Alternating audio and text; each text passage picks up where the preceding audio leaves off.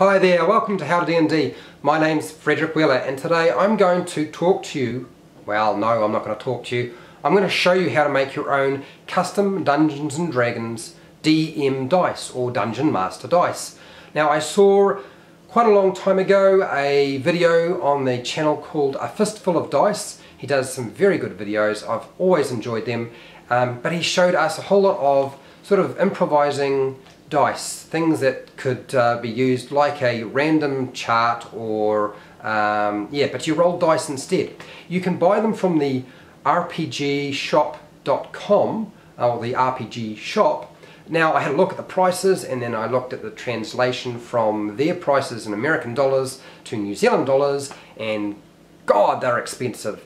So suck, that's not going to happen. I ain't doing that. Uh, instead I'm going to show you how to make your own dice with blank dice and a Sharpie marker. Yeah. You are going to need the following items. You'll need some very large blank dice. You can purchase large blank dice from game stores. You can also get them from uh, toy stores and you can also buy large blank dice online. You will need one black permanent Sharpie pen. It's important that the permanent marker has a very small tip. You're going to need to write very very small and, uh, and it needs to be a fine tip to actually work properly. You're also going to need some baking grease proof paper and that's primarily so that things don't bleed all over the table. Make sure your dice are nice and big because you're going to be writing on these so the bigger they are the easier it is going to be. If they're small it's very hard to write on small dice. So I'm going to show you how to make a whole bunch of different random dice. One for the weather, one for traps, one for NPC or non-player character races, one for rolling up random monster encounters, and one for treasure. Okay, so let's open this up. Get rid of that. And let's get our first dice out. Greaseproof paper, let's put that down.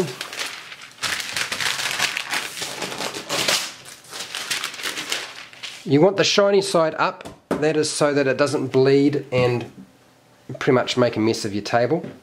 We have one dice. And my first task, what I've done is I've made like a, a, small chart on a piece of paper, roughly what I need. So I want sunny, cloudy, storm, rainy, windy and hailing. So I have to write that onto my dice. Now the smaller the word is, the easier it is to do. If it's a longer word, try to write diagonally across the side of the dice.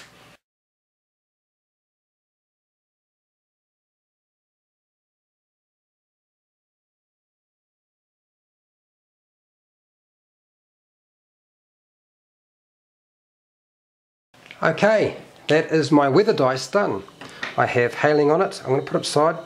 It's still drying. I don't really want to smudge any of the bits, so I'll put it off to the side. I had a lot of trouble actually marking onto the dice. It's very, very glossy. So when I used my marker, I actually found I had to sort of rub my marker over the dice a couple of times before the actual line would appear. I don't use traps very often, but I've always wanted to have a dice I could roll to determine randomly what sort of traps might show up, or they might come across. So, let's try that now.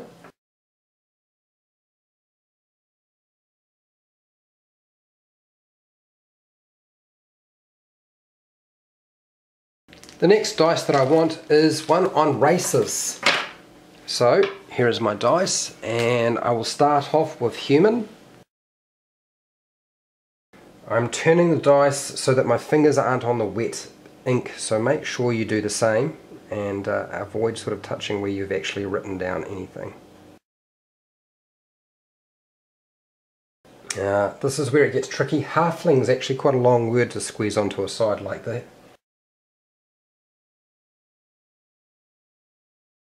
The next dice that I want to generate for my Dungeon Master collection is one for treasure how many times have I needed something to sort of randomly throw up for treasure. I'm going to keep it nice and simple, so values and so forth I'll have to figure out as I go.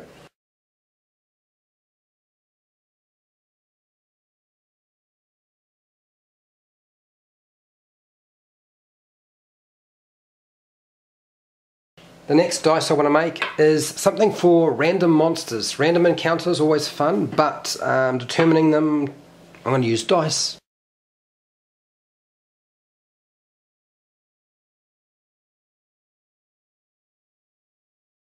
Okay, that is my monster dice. Now you can put anything you like on these.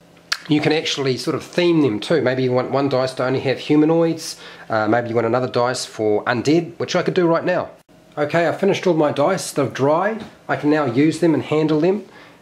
They're not smudging. So, if I have to roll up something to do with the weather, I can just simply grab this dice and roll it. And the weather, it's windy. Or it's a cloudy day. So that's pretty good. Now, that's only a six-sided dice, but you, you're saying, okay, but I can only have six things on a six-sided dice. What if I want to have eight things, or 12 things, or 20 things? There is no reason why you can't make up a weather dice and have two. And simply put the different types of weather you want on two separate dice and select one of those dice and roll them. So that's that one done. Uh, I made a monster dice so I can roll up and they come across a troll and I have a random encounter for a troll or I roll up and there's an ogre. Or I can say okay there's two ogres because maybe they're second level or third level and I think they can figure, um, figure out and, and deal with that threat. So that's what I can do. And uh, what else we got here? We have a treasure dice. So maybe they loot the body of the ogre. And what do they find on the body? They find a potion, and I decide it's a potion of healing. Or maybe they loot the uh, goblin, and they find that there is a pouch full of silver coins, and I can roll a 20-sided dice and determine how many silver coins are in there.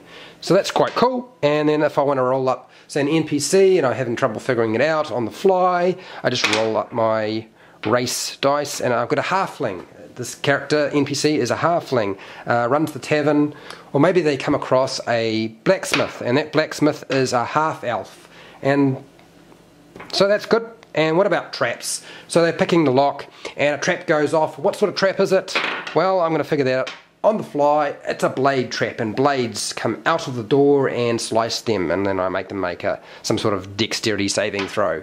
Or maybe they are wandering through a passageway and a net drops down on them. It's a net trap. You can see, you get the point, you can make your own dice, uh, and they can do the things you would want to do. I still have four dice left here, and I will probably come up with something else. Um, I was thinking maybe uh, non-player character profession uh, for rolling up non-player character professions. Some more monster dice for random um, random encounters would be cool too. Um, I'm sure I'll think think of some other things, and um, yeah, and I will probably present that in a later video. I had a look on the website, the RPG Shop website. A lot of their dice are no longer in stock. You can't actually buy them. So it looks like you're going to have to make your own. Okay, that's everything I have on how to make your own Dungeon Master dice or custom Dungeon Master dice. Um, I will probably do another video uh, in a bit more detail and a bit more advanced and I will probably pull out a Dremel and we will cut into the dice and then we'll use some paint. Uh, but for now, uh, I hope that this video was helpful. This is really quick, short and dirty, uh, getting the job done as quickly as you possibly can. If you found it useful, uh, share, like and subscribe if you haven't already. Make a comment below and tell me, have you used the RPG Shop dice? Uh, have you made your own dice before? What were they like? What did you use them for? That sort of stuff. Anything that might be useful around creating your own custom dice for a Dungeon Master. Until next time, keep rolling those 20s.